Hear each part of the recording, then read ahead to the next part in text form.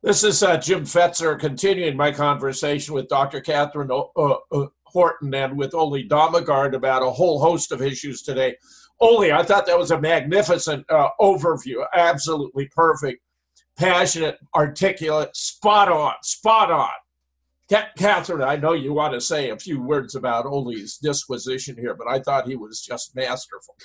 Yeah, I want him to continue. I want him to continue. I just want to interject uh, just very short sentences.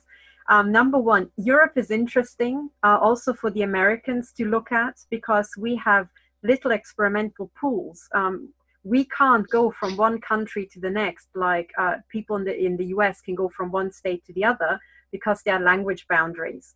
So, you know, if you live somewhere in Europe, you can drive two hours in one direction and suddenly the food is different, the language is different, and people are different, and you just, you know, you, you suddenly have difficulties even renting a flat. So through that, we have been put into little uh, paddocks, like little ponies and separate paddocks, like cows, you know, and uh, we can all run our own experiments. And it's very interesting to me, first of all, because I love Scandinavia. I love most of Europe, but Scandinavia was beautiful because the people are so nice.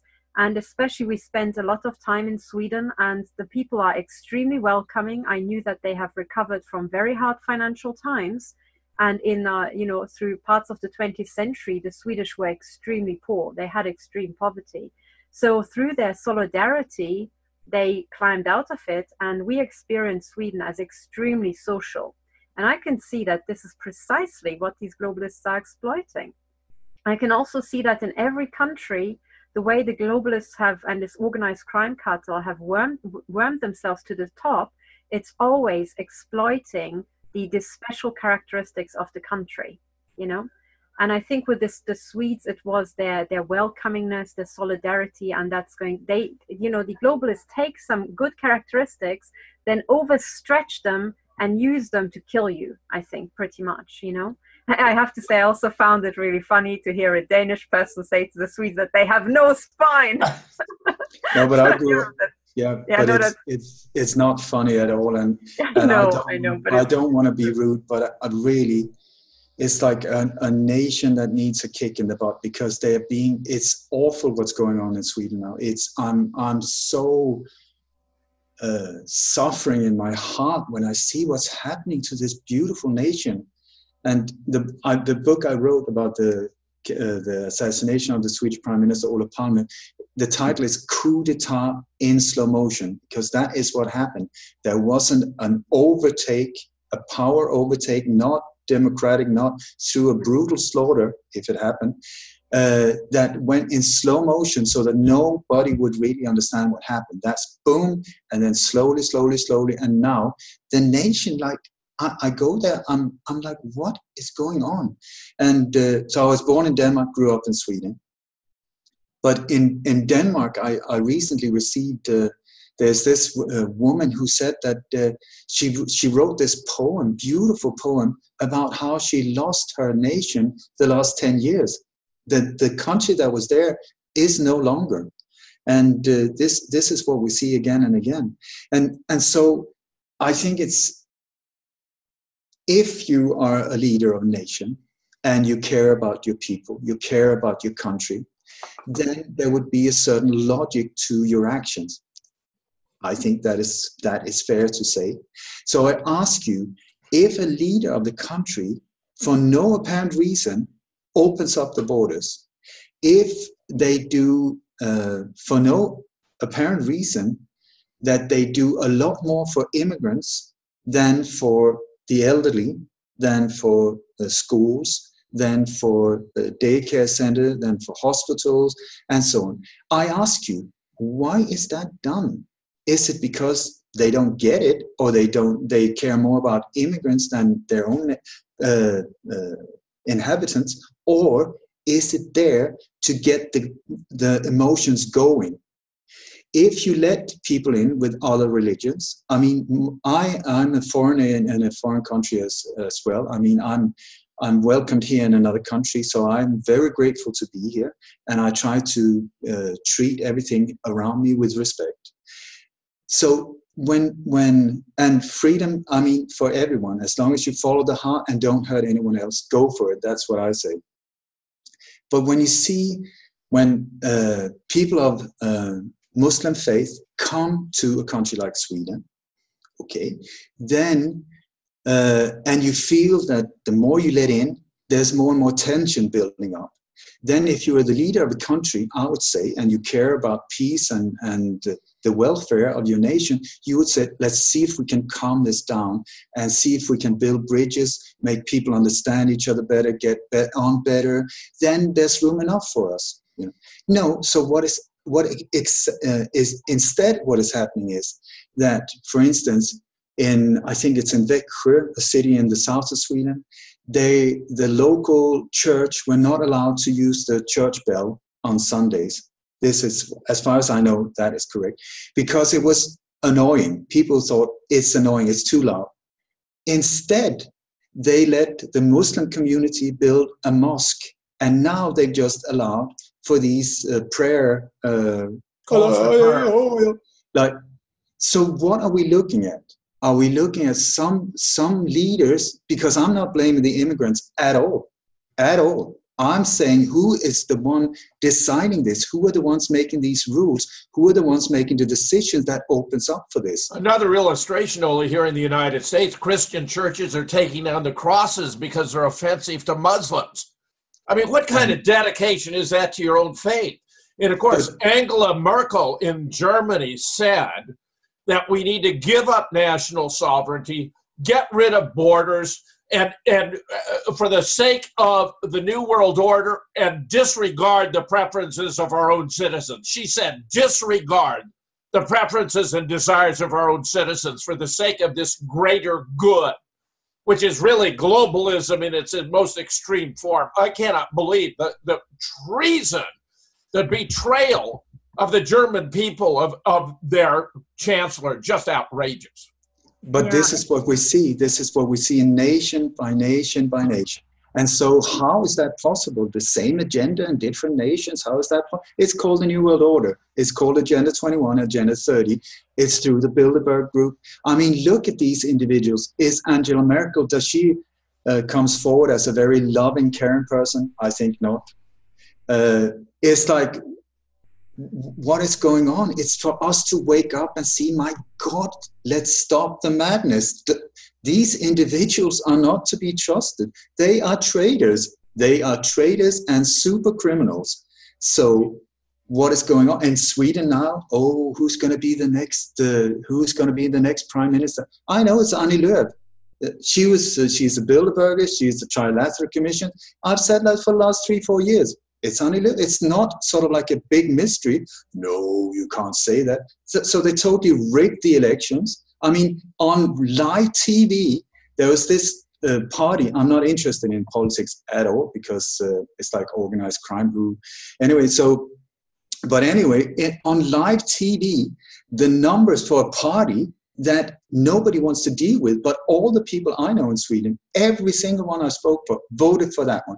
So it went from, I think it was 27%. And then on live TV, suddenly there was a blackout on the screen during the election, and suddenly it came back at 17. I mean, what? And nobody is reacting. I'm like, wake, beat me up, Scotty. Another example of the arrogance, the arrogance of the deep state once again.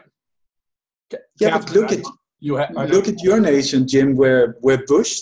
I mean, they just totally rigged the second election, at least. Of, I mean, and made well, it all digital, so they could play around and do whatever they want now. So whoever well, they want. Two thousand was rigged to get Bush and Cheney and to bring us 9-11. That was a necessity. They even had uh, Jeb Bush as a governor in Florida, where uh, it made all the difference. And actually, the 2016 was rigged, but it was rigged for Hillary. It, it was the outlying counties in Pennsylvania, Ohio, Michigan, and Wisconsin that had suffered a lot of casualties from the Middle East wars who voted for Trump, not with any certainty, but in the belief he was the less likely of the two candidates to continue the wars. And only now are we seeing signs of him following through on his promise to the people by bringing the troops out of Syria, and even he's talking about Afghanistan, but it's meeting fierce resistance. The Democratic Party, only, which has been opposed to war historically for its entire duration, is now opposed to getting us out of the Middle East. I mean, it's just a complete role reversal.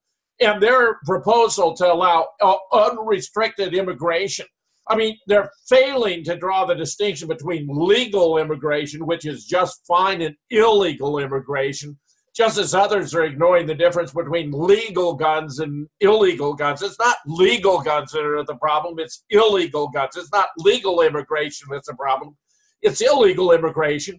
And this seems to be the Western Hemisphere analog to the mass migration into Europe, where Muslims are being used to destroy Christianity here, here we have this influx from Central America that was all organized and contrived. 2,888 miles, they claim.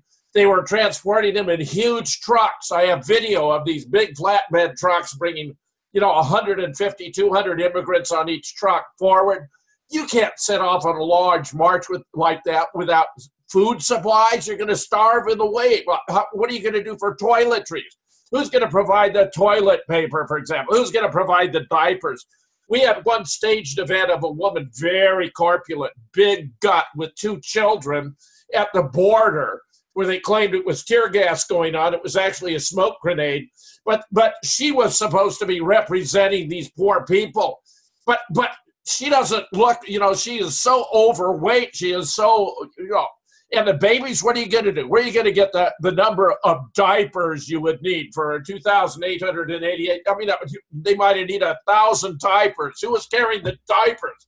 This whole thing was a complete farce, completely staged and rigged. And George Soros, once again, had his fingers on the trucks. The trucks only had the Star of David on them. It was that blatant, that arrogant.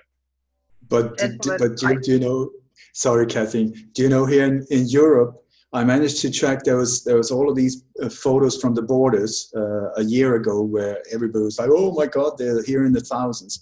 Okay, so there was these photo shoots from the French border, and there was these photo shoots from the German border. There was these photo shoots from the Belgian border. So I thought that is really, really interesting because they're fast moving here. So I managed to identify some of the same people at the three different borders, and I tell you, we're talking photo ops. We're talking psyops and photo shoots. The same where, people, the same people at three different borders, the same crisis actors, Ole. I, I was in in uh, the north of Greece many years ago, uh, and I had to stay there for some reason uh, for three days. And at the time, I didn't know, but there was this big rally uh, there was uh, Papandreou, uh, I think he was the sitting prime minister, and there was Mitsutaki, the uh, challenger. and so the, it was just before the election. And so I, I, was staying in Saloniki. I just had to wait there, and I, so I had nothing to do. So I was just walking around for three days, and I started seeing all of these buses coming with thousands of people coming in from Bulgaria, which is just across the border. And I mean, they, I saw them get off the bus and they were giving these uh, like posters and all of them with Papandreou, you know? And I was like, I know the difference between Bulgarian and, and uh, Greek, you know, the, the languages. They didn't even, even understand what's on, what was on the posters. And, and then in the, in the night, I've got photos of it. I'm in the, in the middle of a million people. I've never seen that many people in a town square. I mean, the whole city center, it was packed of mostly, I think, Bulgarians that was there supporting Papandreou. No, they were there because they were dead poor on the other side of the border and they were being paid to get on the buses, go there, free lunch, say, whoa, whoa, whoa, Papandreou, and then go back home and get like $10 or whatever. That was a lot of money for them. It is a psyop. It is a psyop. And this is what we're seeing here again. I, I one of the I've got a couple of insider, uh, you know, uh, pieces of information. Some eyewitness, some some things that I just know from the region I'm from. So first of all, I can entirely back up what you said about protesters and so on being imported from other parts. There's a historic precedent of this, and this was the overthrow, yeah, yeah, the, the staged overthrow of the Romanian dictator Ceausescu. There was a big protest, and just because before he was executed, he was due to hold a big speech and then during his speech, suddenly the entire crowd started booing and whistling. And then you know they staged how they all you know thought oh my goodness the, the crowd's about to get him. They whisked him off into a helicopter and then the next day he was executed. It was very quick. Done by mi6 and the cia you know? Good job. But one of the things that they did together with the romanian secret services is import miners from really the arse end and the back of beyond of romania. These people could barely read and write. And they were imported and they came up on the day on trains and they were funneled into the uh, um, the uh, uh, square and they were told when to start whistling. This is already well known so this is what intel agencies have done for a very very very long time you know? So it's nothing new. Now fast forwarding to the german immigration which started like mass immigration waves uh, started in september i think september 2015 now, in 2013 to 15, I lived in Munich. And because I was already targeted by the time uh, I moved to Munich, Intel arranged it such that the flat that I would um, get in the end turned out to be, I think, a kilometer and a half from the headquarters of German Intel called Bundesnachrichtendienst. So as I lived in that flat, and I was at the time trying to launch a startup, and I was just working, in the local community, I watched how these gang stalkers are being trained. I watched children, really children, uh, you know, ages between 8 to 12, being trained to be gang stalkers by German Intel. And in one day, so I used to have, in that, at the time, I used to have the habit of going on a one hour bike ride. And I used to cycle down, actually past the BND building and then down into beautiful forest and come back up along the, the shores of the Isar, the river going through. Looking back, I now realize I probably went past a massive underground station, which was the Death Star of Germany, the Bundesnachrichtendienst, but above ground, it's beautiful. And on my cycle ride, I always used to have these gang stalkers. And because I did the same tour after a year, I figured out where the gang stalking posts would typically be, and I figured out at what density. And one day, when oh, I also before I could I could always tell when the BND was training up their Chinese infiltrators because suddenly on one day, you know, all my gang stalkers would be mostly Chinese. I used to call it Asia weeks at the Bundesnachrichtendienst. But anyway, so at some point, and that was in May or maybe April, March, May, so spring, spring 2017, suddenly all my gang stalkers turned black and Middle Eastern. And Munich, so where the Bundesnachrichtendienst is, it's a very Aryan German area, okay? Aryan, Aryan. You know, most houses have little Latin, Latin slogans, you know, which then turn out to be some military uh, mm, slogan or something. So it's that type of people and there were no black people, not one, not one by mistake, typically. And suddenly, it's the whole area is full of black people. So these people were also exactly at the gang stalking posts. So I figured out, oh, already six months before I even heard about this mass immigration in Germany opening its borders, I knew that something was going to happen that the BND was preparing for, which involved a lot of black people and people of Middle Eastern looks. So, in other words, already six months before, German Intel was training up their infiltrators, and those people would become handlers, right? So, the entire thing is Intel staged. So, German Intel prepared these immigration waves, and then when this whole thing started in 2015, I had my family visiting and I took them back to the central train station, and that's exactly where these immigrant waves were arriving. And it was very, very creepy because at some point, as we were standing on the platform waiting for our train, a train load of supposed immigrants arrived. And the doors opened, and out came, you know, a lot of people, and they just kept pouring out. And my entire family just, you know, watched the scene. And then we all looked at each other and we said, these were not immigrants. And my mother said, Yes, look at the shoes. So the shoes that they were wearing were these, you know, kind of canvas shoes where you just walk down to the end of the street and they fall apart. So no way do people go anywhere in those. So these people were rounded up somewhere very close by and just, you know, poured out for these scenes. And as soon as they were done, they would bugger off back to their flats, you know. So this whole thing is just nonsense. Well, the it's Bard said all the world's a stage. It's become literally political theater internationally. I mean, again and again and again. It's just stunning. No connection to reality, all fabricated. Everything is fake.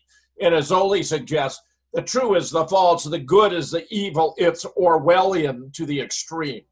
Well, you know, the it other is. thing is also it is true that there's a, a, huge amount of immigration, but it's actually away from these very, you know, these publicized places because the the central train station of Munich was filmed and everything that they, you know, had there was staged.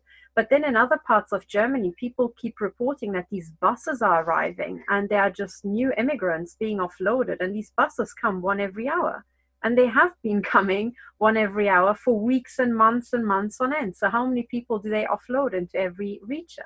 See this is where this is this is nothing to do with cultural diversity. This has to do with mm-hmm. population replacement. They're bringing in a whole lot of black migrants who don't have the same customs traditions don't know the language have no interest in doing so who are going to replace the native population. And in fact they tend to reproduce at a more rapid rate this is analogous to coming, having a guest stay in your guest room for a weekend versus move into your house and take it over. That's actually what's going on here.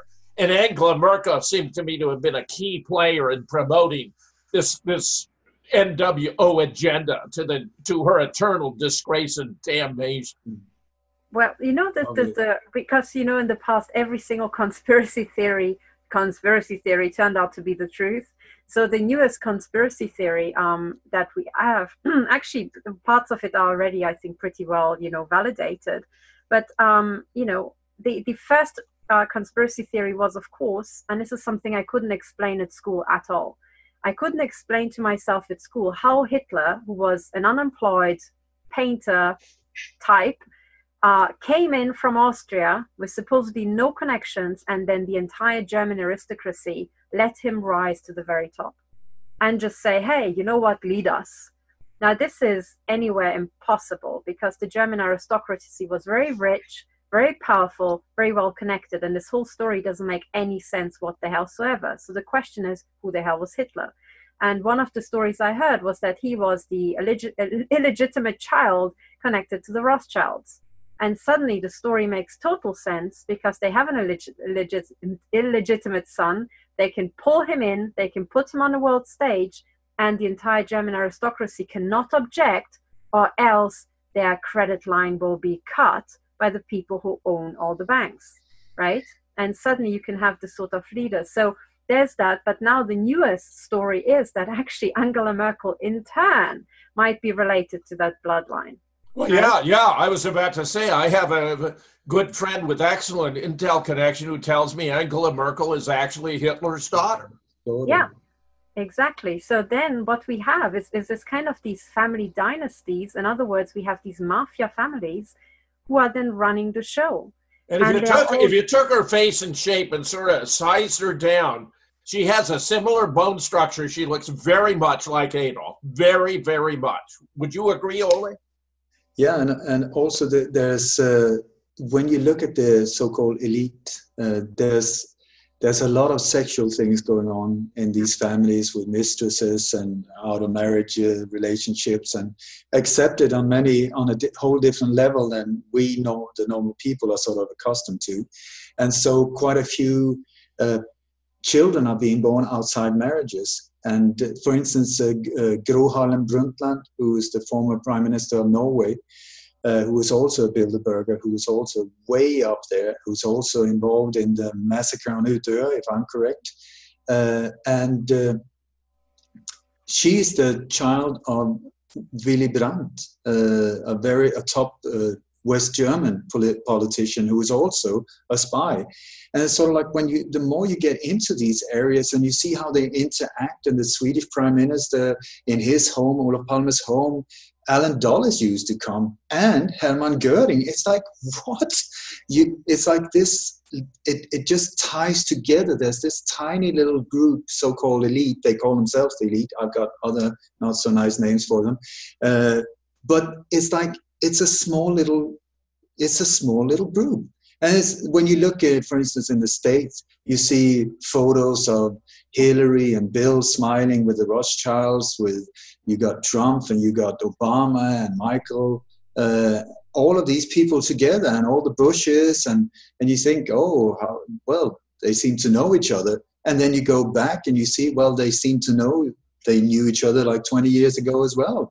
It's sort of like a theater group, and you see, okay, now it's your turn, and then you know you have to stand back. You'll get your chance in another five years.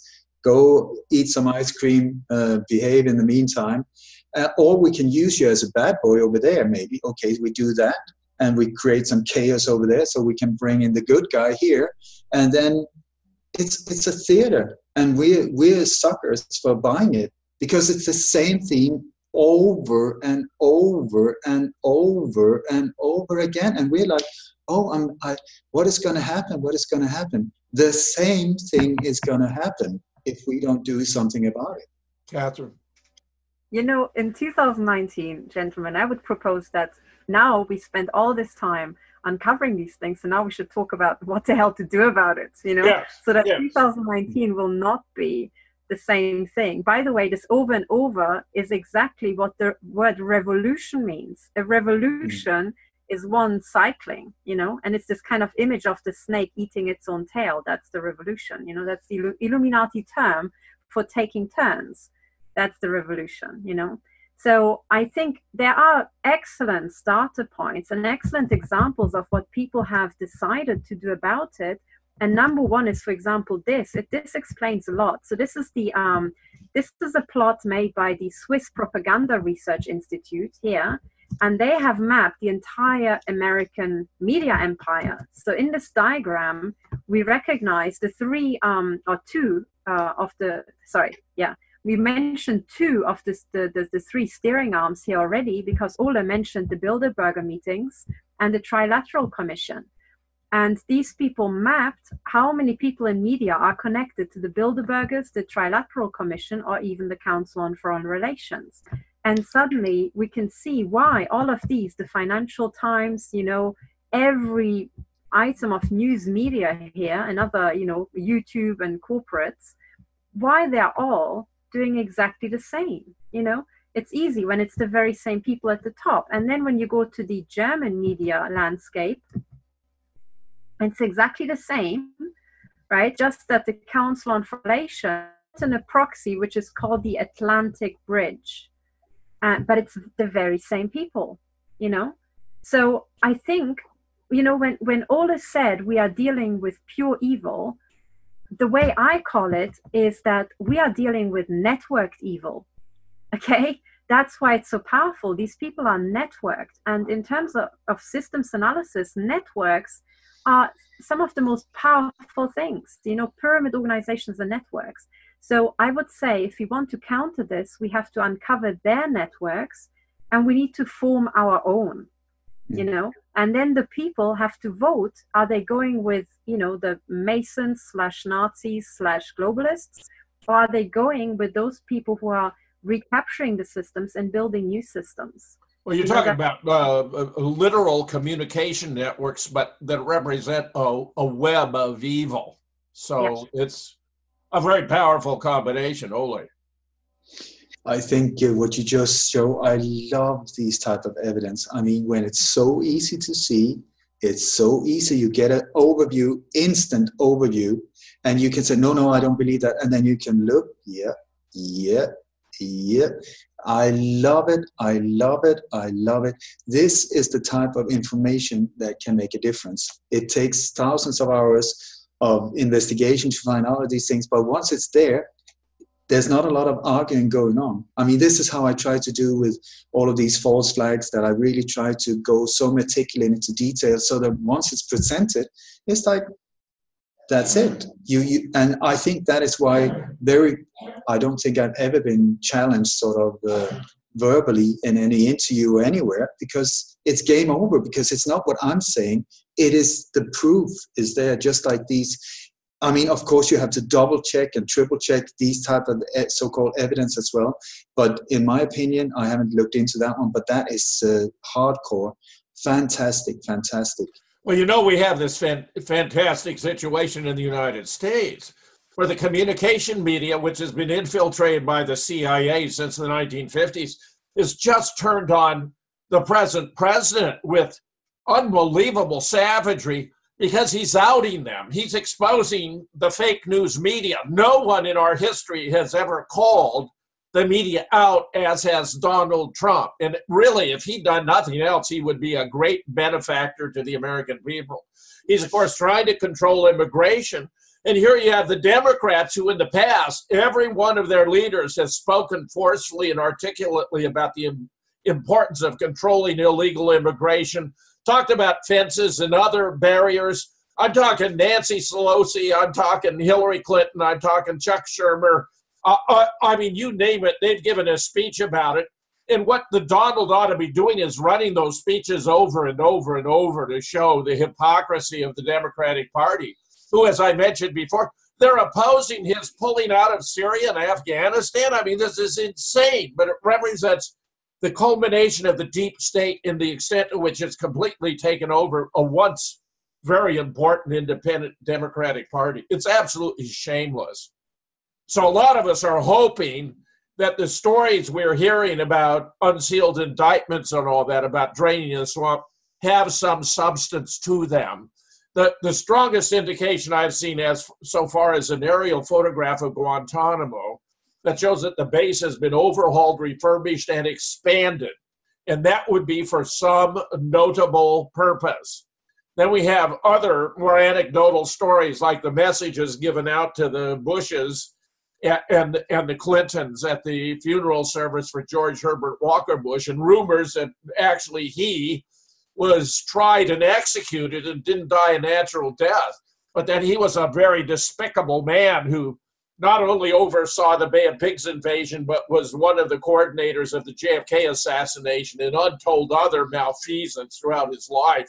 Terrible. I mean, the Reagan shooting really was a message to Ronnie to let George do it. And from the point uh, time that he was shot, and it appears to have been under the arm while he's being pushed into the vehicle by a Secret Service agent using a fillet uh, that barely missed Reagan's heart. He got the message and he let George do it. But I mean, this the Clinton and Bush crime families have been horrendous and they corrupted the Democratic Party, which is now defined totally in terms of its opposition to Donald Trump. There is no more substance in the Democratic Party than collective hatred for Donald Trump, who's trying trying to clean up the mess. I mean, my take. You know, I just want to us I want us to be super, super careful with these things because I have to say, until I see the body, until I am actually I you know they live broadcast uh, a war crimes tribunal oh, yeah. uh, trial, I will not believe for one second that this isn't a Masonic double bluff. That, you it, know? that George Herbert Walker Bush isn't actually alive. It was another fake funeral.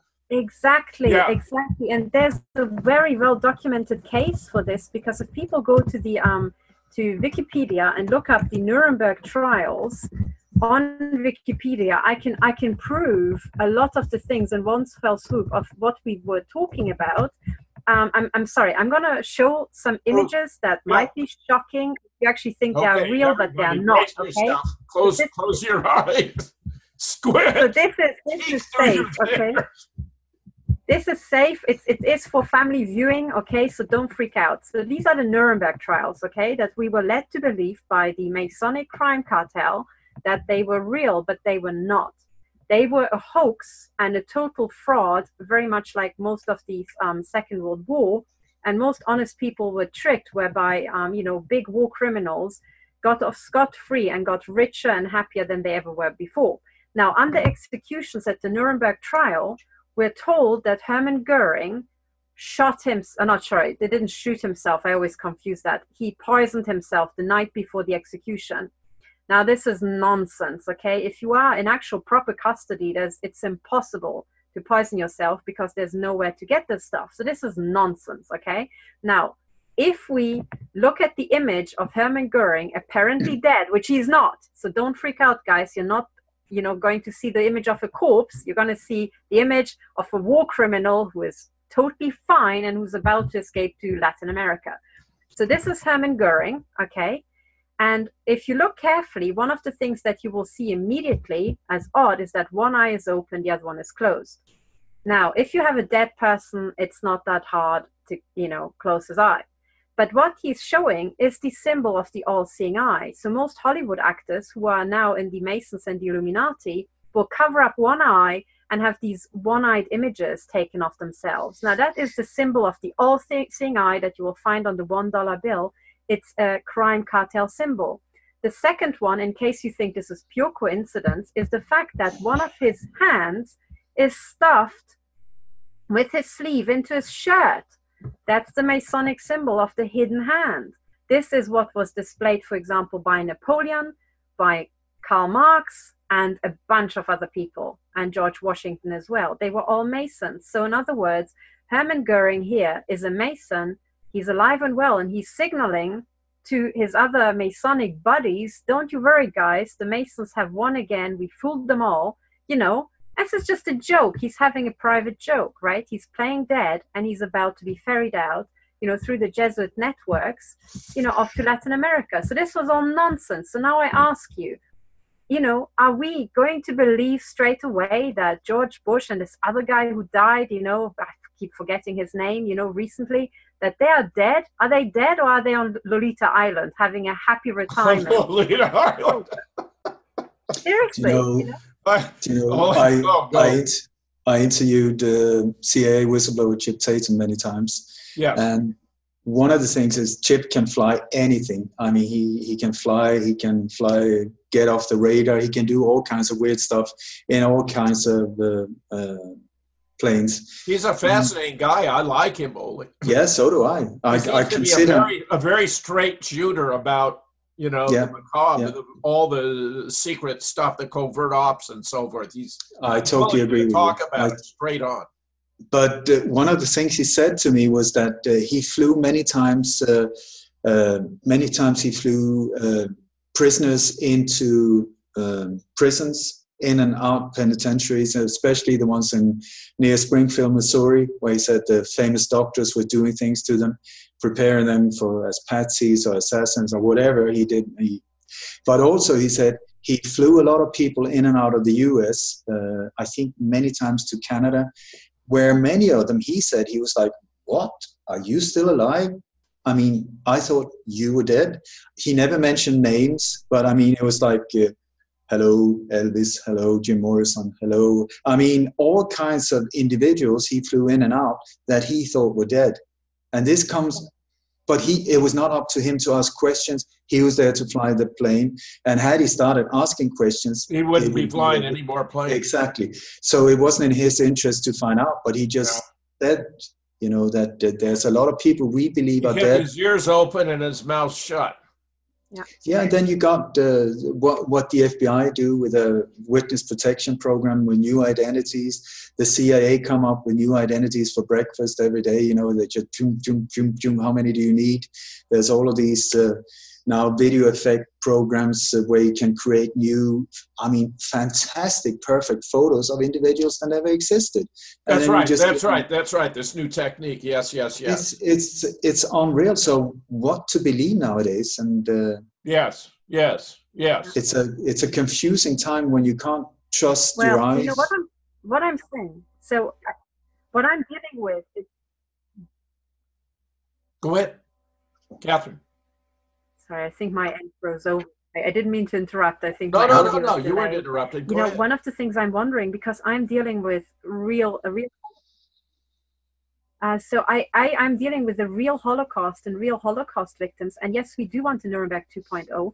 Also because, and that's not because I'm particularly bloodthirsty, but I am a systems analyst, and the problem is that these psychopaths they are networked, and if you just you know take them apart and lock them up for four years, they're going to regroup and they're going to perpetrate the very same genocides and go back to the very same networks.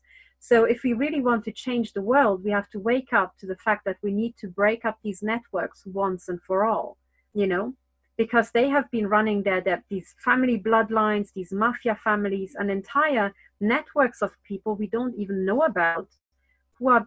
I'm really saying we do have a parallel society here, you know, And they are all networked. I believe they are all very strictly organized into intel agencies and intel agency like organizations and the Masons, which are actually pretty much the same thing. And we have one part of society that kind of, you know, goes to university, then gets a job and raises a family, and then kind of like, you know, stays flat and stays in their community.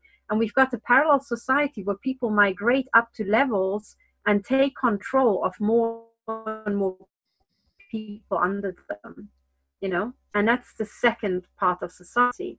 Now, I already have um, circumstantial evidence for this happening. For example, in the Stasi days, every sixth person was organized in Stasi and was an informant. Every sixth person. So if you think of your local community and you just count one, two, three, four, five, six in your neighborhood, the sixth person would be a you know a slave. Stunning. Yeah. Now, one of the things I urge people to consider is just how little money the Stasi had compared to what we have these days when the banks are freely printing whatever. So the yes. question is, how big is, for example, Vatican Intel these days? Would they have one in six people? Would they have maybe slightly more, one in five perhaps? You know? Um, and that's what I mean by parallel society. These people have their own income streams. You know, they have their own uh, hierarchy. Well, East Germany was a, a much more contained, much smaller population. I think in the United States, it's done differently. I mean, I, hmm. they they have so infiltrated the media. Every newspaper, every TV station, and so forth is has a CIA representative who's managing the news. I mean, this includes editorial page editors and the like. I think their dominance of the media is so complete they don't need as many human resources as were necessary in East Germany at the time, Ken. So, but it's it's it's also done with technology now nowadays. And the thing is, what P, what is important to understand is also you just need to control key people in key positions like I, I remember I, I made music for TV4 in Sweden. It's a national, one of the biggest channels there. So I and uh, sometimes I I was with a friend who was uh, in the graphic uh, office doing graphics for the news. So it was really interesting for me because I was trying to learn as much as possible just because I'm interested. And I overheard uh, sometimes when they were like they had these really early meetings when they were deciding what is the news for today what are what are we going to go for what is the big story what and so on and uh, there were a few times when i was in the neighborhood type of thing when there were some bigger things coming in and there were according to my friend there were instead of the normal staff there was like this person well dressed who's just there and uh, not saying anything, but more or less like or commanding, directing. Managing. Exactly. Do you know, like no, not that one. You know, but very discreet, so that most people didn't under.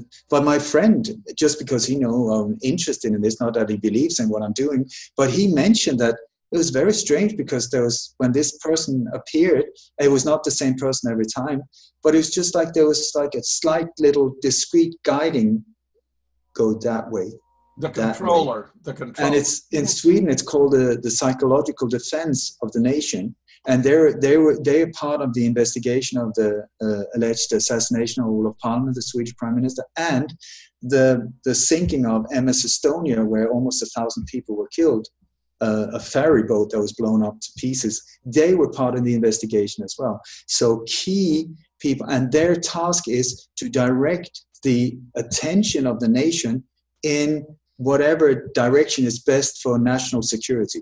I ask you, national security, what does that mean? What does these that are, even mean? These are PSYOP experts. There you go. And it's like, it's not the security of the nation, it's the, the security of these bad boys who are doing or, or the deep state, security of the That's, deep state, not exactly. the nation as it's ordinarily understood. Yeah. Katherine. Well, you know, it actually, in, in, terms, one of the things I was studying is um, because when you are controlling, um, you know, that big an empire like the globalists are, you need to have your own communication channels. It's like co- controlling a big corporation because actually that's what it is. It's a massive corporation. You know, according to canon law, you know, a huge ancient corporation that we're dealing with, in my view, you have to have some sort of communication, and this is what they developed the secret language for. So most, uh, you know, I always say most uh, gangsters have their gangster talk. You know, secrets, codes, and signs that they can uh, communicate with Now, that's exactly the same in this crime cartel and this globalist cartel. And there are already whistleblowers who say that they have a dictionary of 3,000 to 4,000 words that have second meanings. So animals have symbology, you know, signs have symbology. We all know the, uh, you know, the all-seeing eye, the obelisk, the pentagram, but there are many, many more. And when they are speaking, it, this is the ultimate double speak. Now, when they're saying national, I believe they are referring to the nation made up of Freemasons, okay, of these Masonic families, this parallel society, which is goes back to Vatican Intel, you know, the secret parallel society that lives alongside of us, but they have their own institutions, their own law, even their own hierarchies, and their society looks nothing like ours.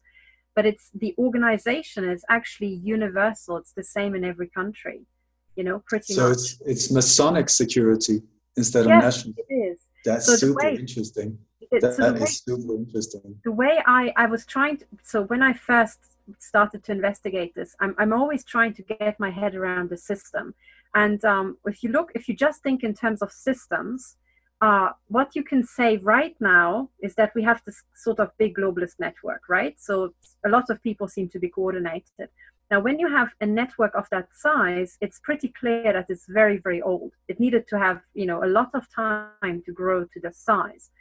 Now, what you can also say is these people seem to be running everything pretty much across the world. Okay, so how did they get to this dominant position globally? Uh, and, and how dominant they are globally also indicates how old their systems are. They had to be at it for a very, very long time. So I thought, okay, whoever has dominance now has the monopoly, if you like. They needed to have the monopoly already 200 and 300 years ago because they are just so dominant now. So, which candidates would have enough dominance, enough global reach 200 and 300 years ago? Well, it's the church, right? The church. It was everywhere. The, the church was the, the Catholic Church, of course. in any one royal family or ro- royal domain, because the Vatican. Exactly, the Catholic Church, because it was also the Catholic Church. Remember, you know, the Portuguese and the Spanish who were uh, conquering uh, Latin America and so on. And that was also all the Catholic taking, Church. Now, what the Catholic Church had was a lot they of ground. They had church ground. Yeah. Go ahead. They were also taking confessions, yeah, so they knew everyone's yeah. secrets. Oh, that's a good one. That's a good exactly. one. Oh, exactly. Yeah. And it's actually a crucial one. It's a cru- crucial one, actually. And the other thing, the, the church gets 9% of your pre tax earnings. 9%. It, it, it's already deducted at the tax level if you're in the church. So they get a lot of money. But now the thing is, if you are running that big an empire, you need to have your own agency. So this is where the Jesuits come in. So you can tell that in every community where there was a church, they were also informants. So Vatican Intel, most people never thought about it like that. They think the CIA is the biggest, but it's actually Vatican Intel that's the biggest. And it has been global already way before the CIA even existed. That's so really interesting now, because I've, I've, I've had others who have suggested the same thing, but it's been difficult for me to appraise. I think you're giving it context and an historical mm-hmm. framework that makes a lot of sense. Continue. And now, now comes the key, and this is where I will I will try to close the circle because as I was investigating this, I also discovered that uh, the the entire Vatican architecture, okay, is is actually it has the structure of one big corporation. And this corporation is constituted according to canon law. If you go to Switzerland, some older Swiss families will tell you that the cantons and the land ownership of very old families is con- constituted according to canon law. Right? Now, Switzerland belongs to the Knights Templar, as a, South African historian Sean Ross has explained to us. So, Switzerland was founded exactly the time period after the, um, the Knights Templar Jerusalem that it takes most people on horseback to go from Jerusalem to Switzerland. Okay, so anyway, we have these big structures in our society that are still constituted according to canon law. So, you know, tr- uh, closing the circle, if Vatican Intel was global, you know, as soon as they started exploring uh, Latin America and America, right? Vatican Intel would have sent spies on the ship. Vatican Intel was there. It was everywhere else in Europe and so on. When we're talking about MI6 these days and the CIA, what they actually are, they are branch officers of Vatican Intel. That's all. So, in other words, MI6 is the British branch office, Germany BND is the German branch office, and you know CIA is therefore the uh, American branch office. Now, the thing is, the question is, what is the corporation according to which you know this whole architecture of people was constituted? See, see Katherine, just, to, just, yeah, just to interject, many of us would suggest it's the Israelis, the Mossad, that has been infiltrating the CIA, for example. So we need to figure the relationship between the the, the Jewish branch. I can tell you the relationship. The Jewish franchise. Wait, wait. Go ahead. Wait, I, I, I, will, I will, I will answer your question if you allow me to cl- close the deductive chain. I will endeavor to answer this. So let's go back in time because it's sometimes easier to understand. Okay, so I hope most of your viewers can follow me. If you send ships to ex- explore Latin, um, Latin America, going back to the 15th century, you would send your spies if you are the Vatican, right? You wouldn't just let some local king, you know, go out and get his, you know, his hands on something. So they sent the spies there. Spies were in Latin America and everywhere in America already centuries ago before the CIA existed by the time the CIA was founded, right, they already had an Intel network. Now, you know, the oldest countries closest to the Vatican will have the oldest Intel networks. Now, Israel is very, very young. It's a very young country. And it's, I would say, it's the personal fiefdom of Baron Rothschild because Baron Rothschild was sent a congratulation um, letter, you know, by um, the, you know, the Queen to say, hey, congratulations, here it is, there's your country, right? So Mossad is very young. It's a puppy compared to MI6 and the CIA, even, you know, and it's it's like ridiculously young compared to Vatican. So what is Mossad? Mossad is the newest branch office. If you have a bank with branch offices, your personnel sometimes migrates, right? They change from the London office to maybe the Paris office and so on. So, and if you look at and you talk to Intel whistleblowers or Intel agents, you discover that they have worked for a very large number of these agencies. For example, Carl Clark in, in the UK, he worked for Mossad, he worked for MI6, for other countries. How come? It's because these all these intel agencies are the very same corporation. He just changed branch offices. Will you have senior Mossad? in the CIA? Hell yes. Will you have CIA and MI6 and Mossad? Yes, of course. It's all a mix. And I can also tell you that KGB and MI6 are also just different branch offices mm. of the same corporation. There was never any difference what the hell ever. It's all just a hoax. The entire Cold War was just a flick, you know, freaking hoax. So um, now, Katherine, this is absolutely dazzling. I want to know if Ole has any reason to take exception, or whether he would be willing to at least tentatively explore that hypothesis, possibly even support it at least in part. No, no what you're saying is nothing new to me. I, I, this is spot on as far as I know.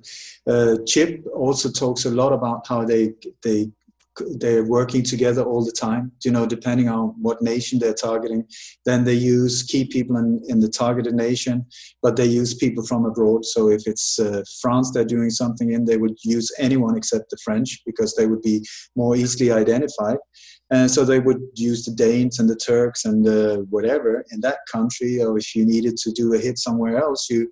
So and uh, very often, I mean, some of his colleagues, uh, like one of the people he actually blew up in a plane, he was working for Mossad. Uh, Pat Weber, I think his. Uh, alias was his Ani, I forgot his real name, but when you look at, it's very important to understand that just because people are in these organizations doesn't mean that they understand what they're in.